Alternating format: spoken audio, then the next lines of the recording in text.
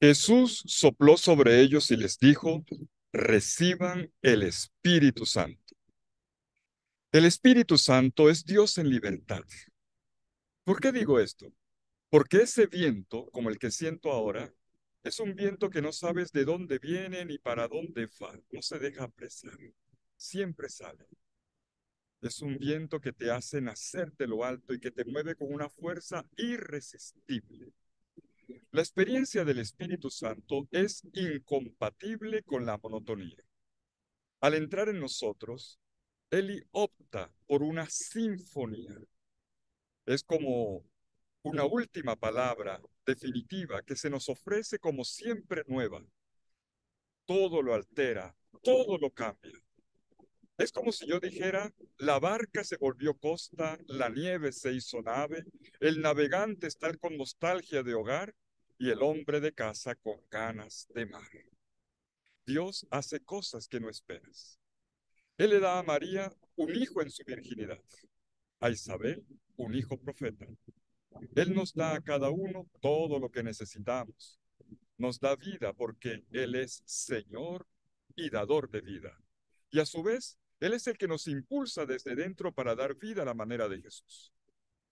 La palabra de Dios en esta solemnidad de Pentecostés ensaya una sinfonía de lenguajes para intentar expresar algo de la inmensidad del Espíritu. Cada uno de los cuatro textos que proclamamos hoy no es más que una brecha que filtra luz. Son como cuatro ventanas abiertas al misterio. La primera lectura en el capítulo 2, versículos 1 al 11 de los Hechos de los Apóstoles, se nos dice que la comunidad apostólica estaba tan llena del Espíritu que la gente afuera los confundía con borrachos. Pero no era así. Estaban embriagados, sí, pero del Espíritu Santo.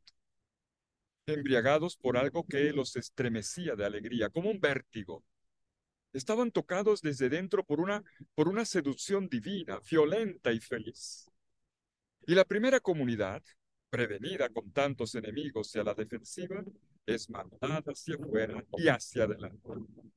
Nuestra iglesia tiene la tentación hoy como antes de refugiarse y de encerrarse.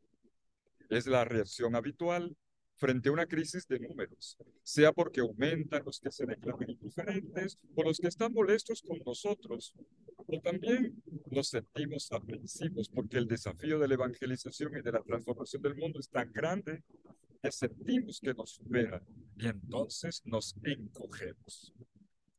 Pero esta iglesia, nuestra iglesia en Pentecostés, al ser llenada del Espíritu Santo, pierde el miedo, Deja de lado los prejuicios o el respeto humano y recibe un gran impulso, el impulso original.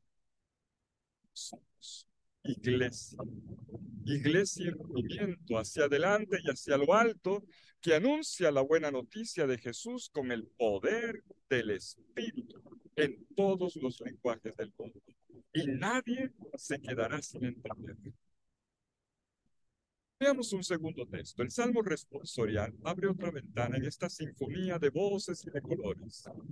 Es el Salmo 104, especialmente el versículo 30 que repetimos en el estribillo. Envías tu espíritu y son creados y renovarás la faz de la tierra. Una de las más bellas y revolucionarias afirmaciones de nuestra fe la ofrece precisamente la plegaria eucarística número 3, cuando el sacerdote de la Eucaristía proclama, por Cristo, tu Hijo Señor nuestro, y con la fuerza del Espíritu Santo, das vida y santificas todo, todo el universo. No solo con nosotros los seres humanos, sino con todo lo que existe. No solo das vida, sino que siembras santidad en el universo, santidad de luz, la santidad humilde del bosque que crece silencioso, del niño que nace, del corazón que ama, del sabio que piensa, del artista que crea. Pentecostés es una liturgia divina que santifica el universo. En tercer lugar, Pablo abre una, una tercera ventana sobre Pentecostés en la segunda lectura se encuentra en el capítulo 12 de la carta a los Corintios y me detengo solo en los versículos 4 al 6. Dice Pablo, Hay sí diversidad de dones, pero el Espíritu es el mismo.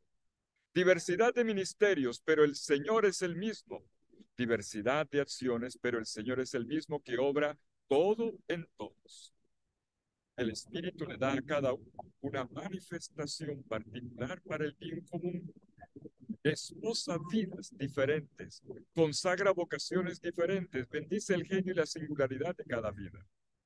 El Espíritu no quiere repetidores triviales, sino discípulos brillantes, constructores de una iglesia que encuentra unidad en torno a la, a la cruz y también a la resurrección.